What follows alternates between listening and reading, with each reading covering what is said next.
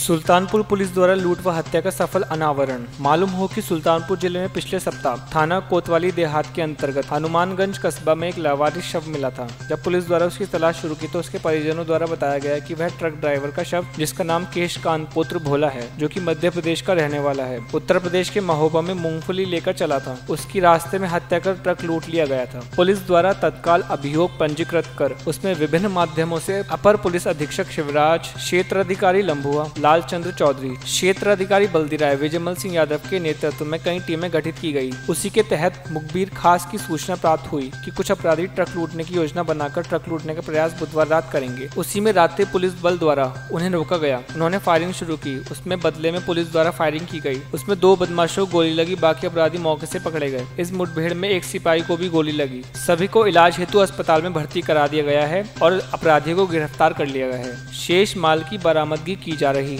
आवश्यक विधिक प्रक्रिया संपन्न करवाई जा रही है। क्या मामला है? कैसे गोली लगी कुछ लोगों को? जनपद सुल्तानपुर प्रभारी निरीक्षक कुरेभार कोतवाली देहात और आलियापुर तथा जनपद की स्वाट टीम इन्होंने पुलिस मुठभेड़ में दो अपराधियों को गिरफ़्तार किया है। मोहम्मद साबिर और अमित सिंह नाम है। और इनके जो है कटका धनपतगंज रोड पर इनको एक मोटरसाइकिल में जा रहे थे तीनों। पुलिस को सूचना मिली थी और उसके बाद इन्होंने पुलिस मुठभेड़ में गिरफ़्तार किया गया। दोनों के पास से अवैध असलहे मिले हैं और मुठभेड़ में जो है दोनों को गोलियाँ लगी हैं पुलिस की। और उधर हमारा एक आरक्षी है, उसको भी चोट आई है। फ़िलहाल इन तीनों लोगों को जिला अस्पताल में भर्ती कराया गया है और जो तीसरा जो अरेस्ट हुआ है, उससे जो है जो रिकवरी का प्रयास चल रहा है। ये बता दें कि ये जो घटना एक कोतवाली देहात में पिछले सप्ताह हुई थी, उसमें एक मूंगफली वाले ट्रक को इन लोगों ने लूटा था और ड्राइवर को सड़क के किनारे फेंक दिया था। तो उसी घटना के उसमें सूचना पर ये कोतवाली देहात, कुरेभार, हलियापुर स्वाट टीम को की मुठभेड़ में ये दोनों बदमाश गिरफ़्तार किए गए हैं। इनका उपचार चल रहा है और बाकी रिकवरी के प्रयास किए जा रहे हैं।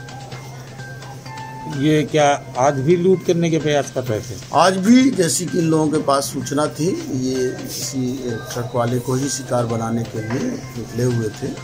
और ये इसमें एक बल्दी राय का रहने वाला है मोहम्मद साबिर और दूसरा एक कुरेभार थाना का रहने वाला है।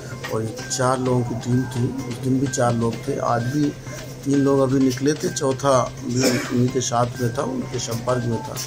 अभी पूरा प्रयास करके इनके पूरे गिरोह का जो है पता लगाया जा रहा है और कौन किसके यहाँ बेचते थे ये सामान और क्या करते थे इसका पूरा पता लगा करके प्रभावी विधिक कार्रवाई की जाएगी। कितने असलहे पाए, पाए गए हैं?